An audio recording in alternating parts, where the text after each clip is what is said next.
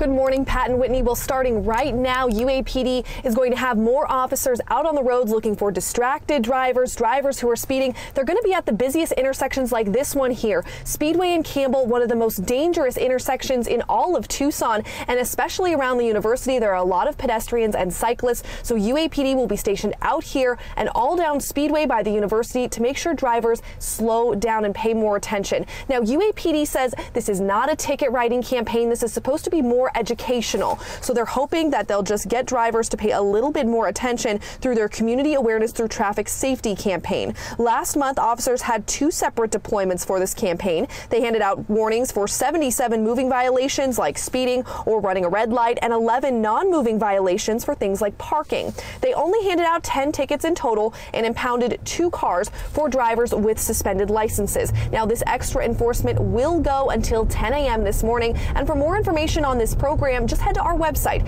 kgun9.com. Pat and Whitney, back to you.